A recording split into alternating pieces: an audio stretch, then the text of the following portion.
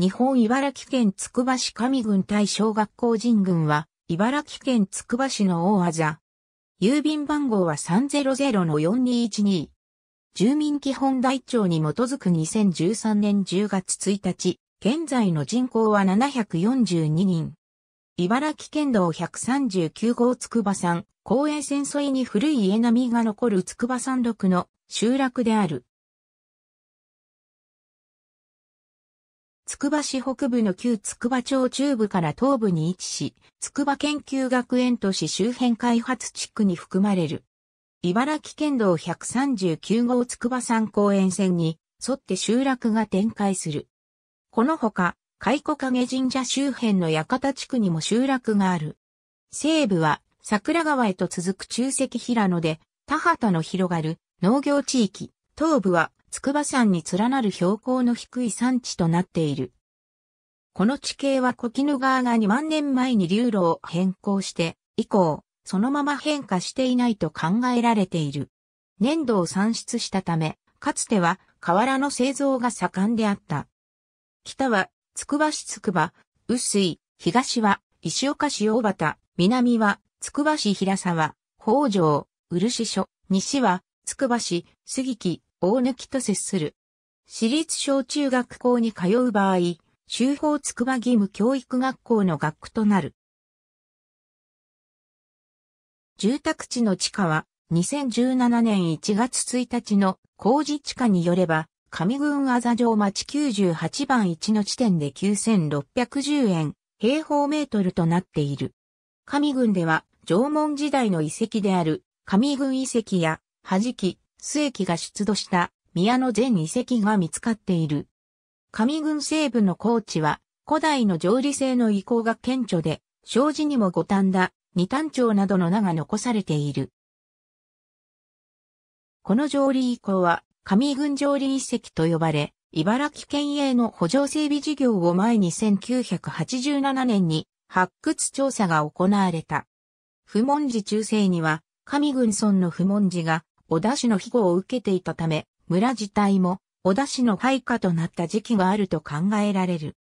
江戸時代は上郡村として日立国筑波郡に属し、当初佐竹資料だったが、慶長7年から天領、慶長11年から真壁藩浅野資料、元那8年から笠間藩浅野資料を経て、昭法2年に旗本の井上正義の治療地となって、以降、井上氏の配下となった。他に自社領も存在した。井上氏の治療地としては、大島村に次いで、村高が多く、享保9年、上郡に陣屋を設け支配の拠点とした。上郡に陣屋を置いたのは、配下の八村の中で、最も中心性が高く、井上氏の屋敷のある、江戸、大塚からの交通の便が良かったことが理由として推定される。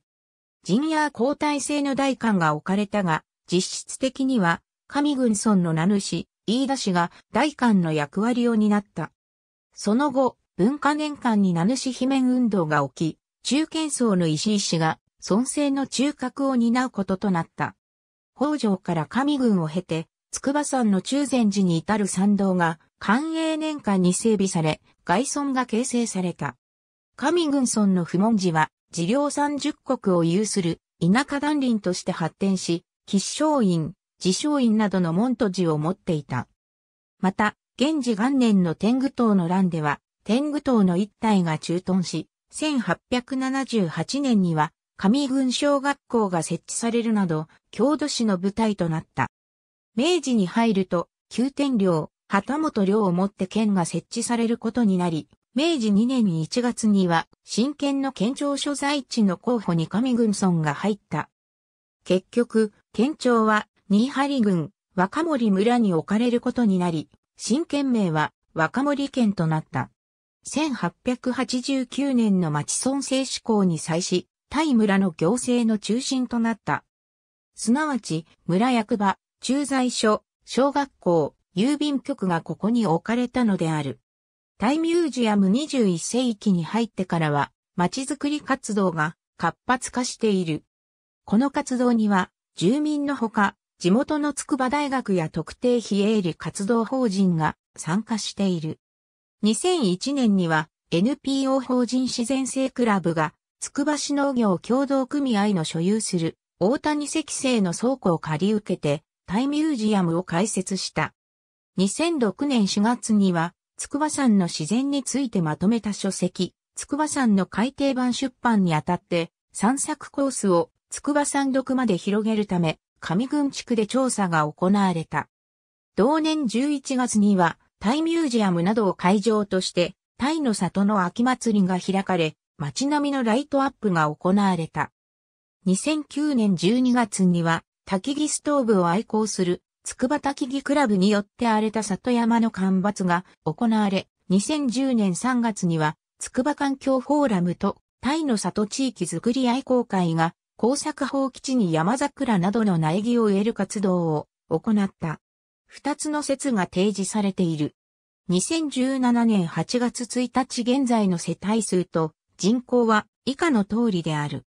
総数、個数、または世帯数、人口、海古影神社。ありがとうございます。